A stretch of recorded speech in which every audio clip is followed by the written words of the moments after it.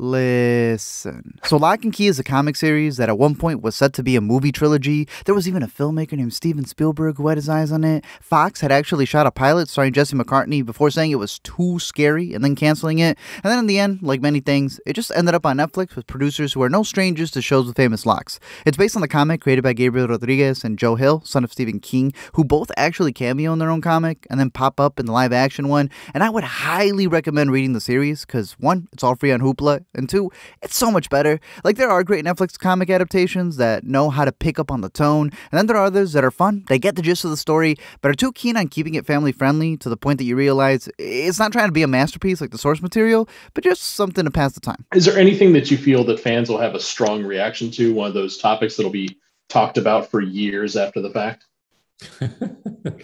I mean, I don't know that anything in season two rises to the fact that people will talk about it for years afterwards, but uh, we'll entertain you. So before we set up all the key points leading up to season two, a big shout out to our sponsor, PIA VPN, for supporting the channel and setting up a great discount to get the most out of your streaming right now. We're at the time where it's film festival season, and every listener knows how much virtual festivals they just pretty much changed the game. with the help of PIA VPN, you can catch all the best films and international selections that are playing all before the year is up, making you more cultured than the Academy. If any YouTube videos are ever geo-blocked, you can bypass those restrictions with this handy tool. You can keep your entire movie library intact where wherever you travel, you can get the most out of your Netflix catalog and all of your other subscriptions. Unlike others, they don't store any logs or mess with your data. They provide a seamless ad blocker to go with it, allow up to 10 devices. They got that 24 7 support and boast over 30 million downloads with that 30 day money back guarantee. So if you want to stream more and stream better, head over to our link down below to get 83% off, 4 extra months free, and unlock your streaming potential. Now, full spoilers. Let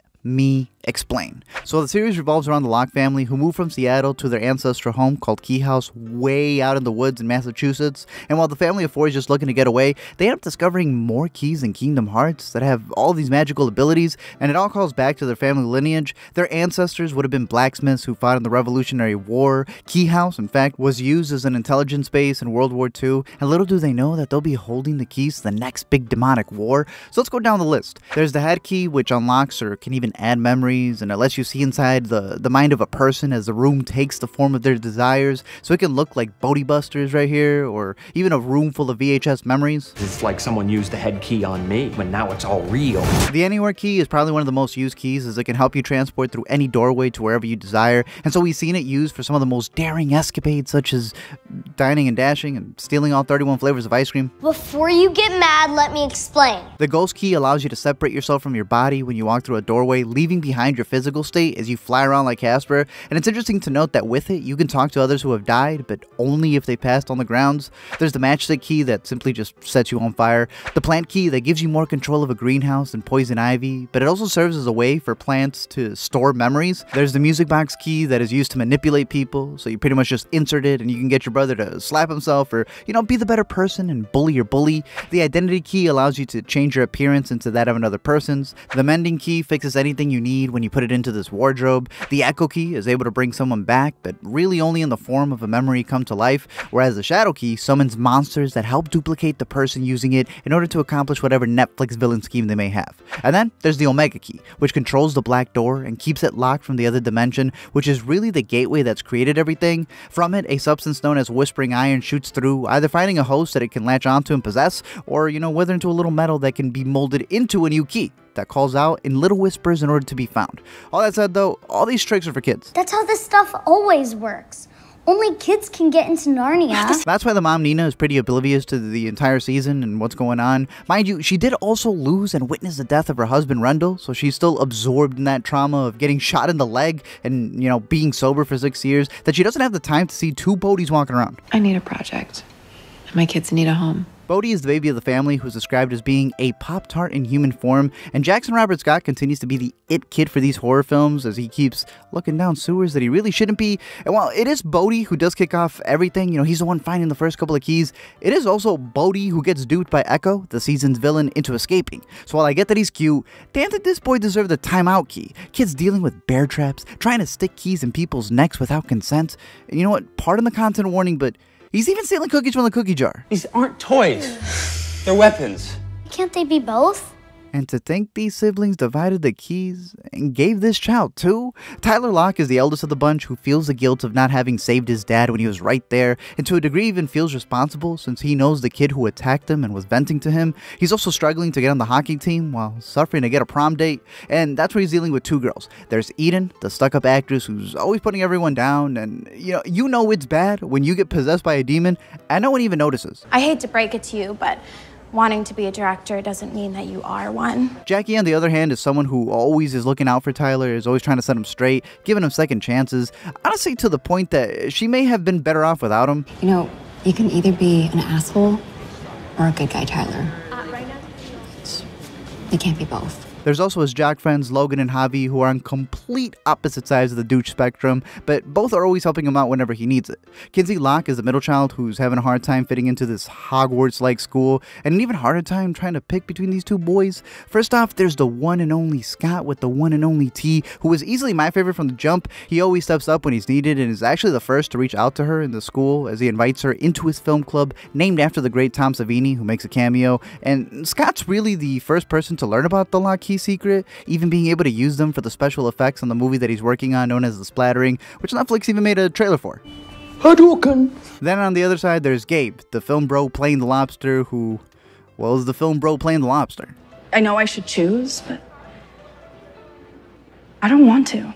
What if I dated you both?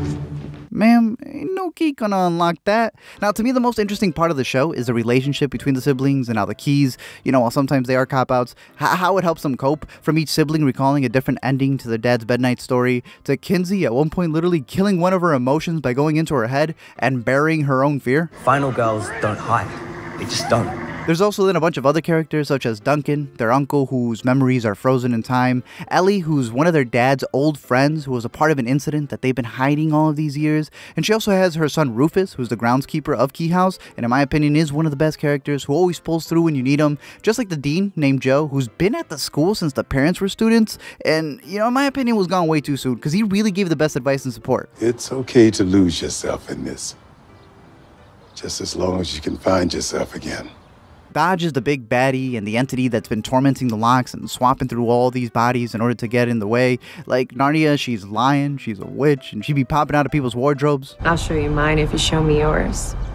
Oh, and she's a creeper. Damn it, Netflix. To Bode, she's the well lady. On the streets, she's known as Echo. And in the end, she really just goes by Dodge when she starts trying to seduce Tyler. And she's just in full control of the identity key that helps them disguise themselves as different people, including Lucas, a distant cousin of Ellie, who's really in the body of her high school boyfriend who's been dead since that incident from long ago. It's hard to explain.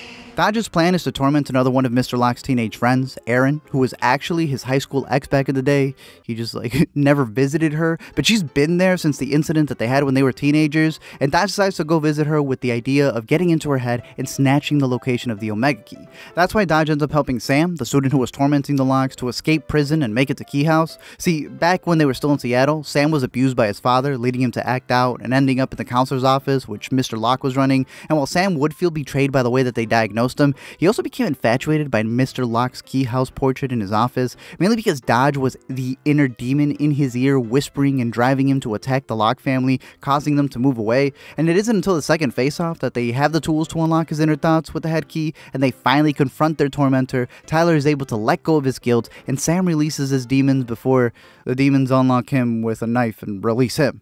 There's a reason why no one loved you, Sam. But like I said, Bode just leaves keys left and right, and so Sam walks right through the ghost key door, and now he's just floating on in the grounds. Kinsey's fear comes back to attack Eden as the siblings decide to tell the entire cast and crew town about their magical family secret. And in the most convenient narrative play, Ellie straight up head keys herself in order to give the kids the LME on what happened all those years ago.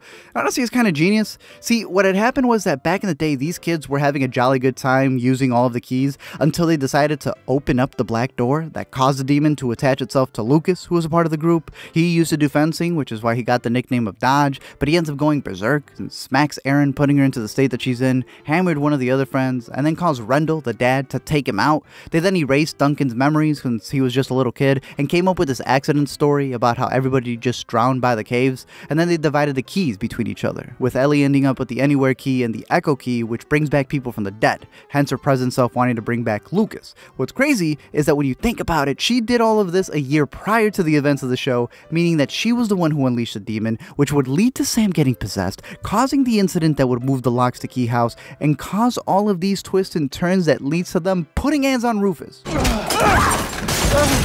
Unacceptable. Now listen, a lot of the show borders on being CW corny, and I give it the benefit of the doubt for, you know, taking a pretty mature comic, and yeah, they clear for a family-friendly audience, but oh my when Lucas slash Dodge slash he or she or whatever ends an episode by putting on a crown to Billie Eilish's You Should See Me in a Crown, and then utters the words Hello Darkness.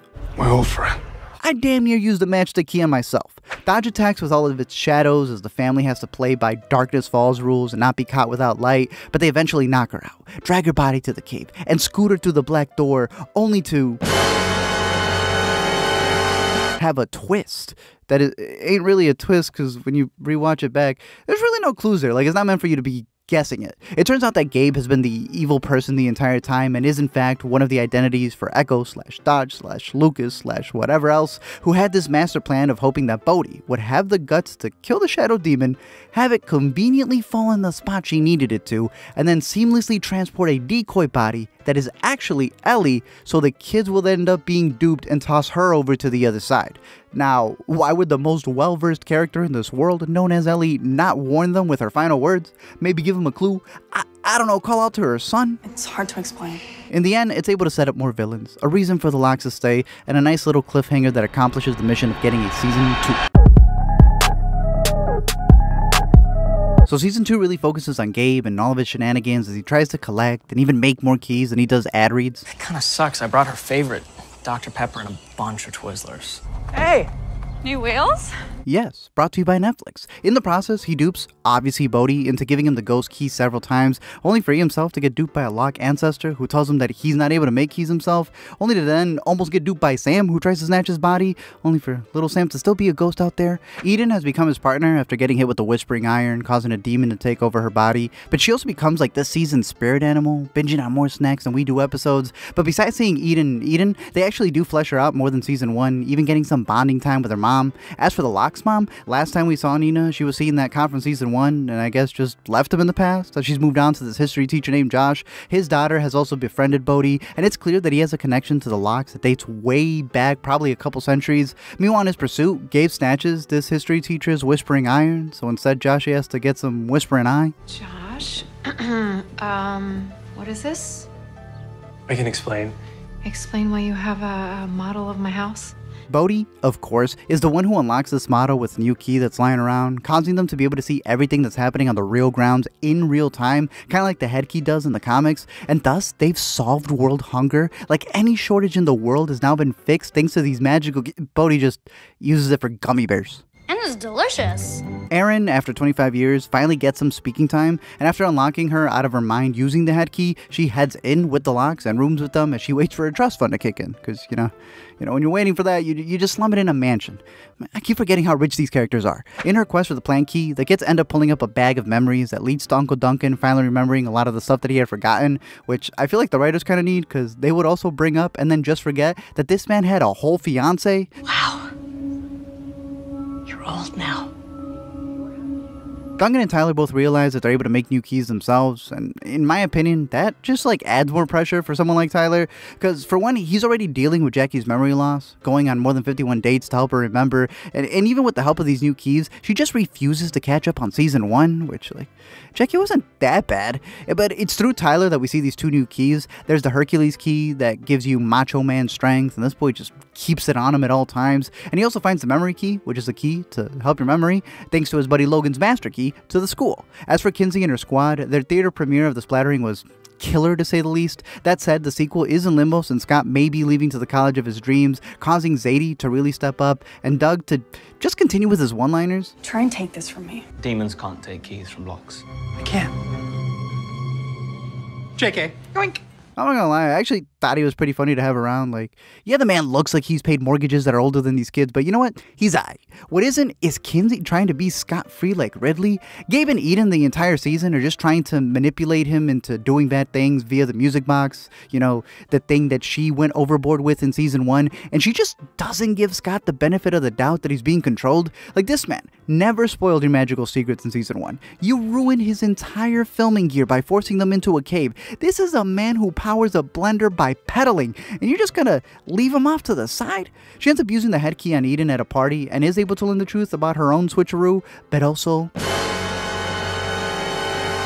that my boy Scot was right. See, while all the characters in this season are going through like a sophomore slump, at, at least they have the set pieces and, and, sequences that are amped up a bit more. There's the creepy mannequin challenge in Eden's mind that goes on. They try to emulate the Shining maze. Jamie at one point traps Eden during a master plan, which I thought was kind of cool using the model. And they even have this 1775 flashback episode with these redcoats who are trying to take advantage of this door and its demon powers. But then you actually get to see the original Lockes who created the first set of keys and did everything in their power to protect this doorway. And now, centuries later, the little young Locke ancestors are battling on a cliffside house, causing more casualties than Sokovia. And look, the only reason it got this bad to begin with was because this crew had an 8 key lead and somehow botched the third act plan again. See, Dodge forces Duncan to forge a key that can actually turn people into demons. So now, all the townspeople from the cop to Javi are just going bad. And that's probably the most surprising part of the season that you have so many deaths, it almost overshadows all of the new keys. At one point, Erin pulls up with this chain key, which seems to represent how she's finally free. You know, she's broken the bonds of her past and is able to take control of her. Gabe just chokes her out, like literally with the chains. Kinsey finds this wing key referencing back to a nice little Easter egg that they had in season one as she literally sprouts wings and soars killing any attempt at that edgy style they kept trying to force on this character. And even Jackie gets put through the ringer, as she already opted out to not wanting to deal with any of these keys, only to get turned into a demon by a key. And then when Tyler reverse engineers that key to undemon her, boy doesn't realize that the making of that one costs a life. Like, I swear this show loves to pull up with last minute explanations. What happened? I think it's because I made the demon key. Turn around! In the end, Echo, Gabe, Dodge, Charger is dead. Eden thinks that she can get the one up by bringing back Sergeant Kimi from the Lost Dimension, and well, that doesn't turn out great for her. Ellie is back, and they identity key expeditiously before it becomes problematic, while Lucas is also back since he was, I guess, just in the sunken place for the last two seasons. Kinsey decides to co-star with her co-star finally. Bode uses the memory key so Mama Nina can finally remember what happened previously on the episodes, while Tyler chooses to just forget everything so that he could focus on his future. Eh, it, like, I get the sentiment, but wouldn't you just go back to the guilt you felt pre-season one? Like, isn't this whole journey what helped build to your future?